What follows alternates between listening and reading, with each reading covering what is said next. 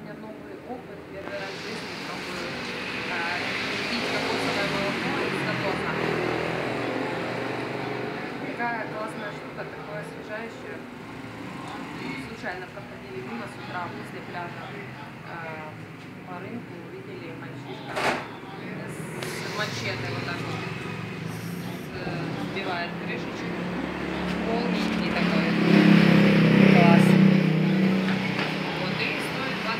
25 бат, это где-то 6 гривен. Нет, 16.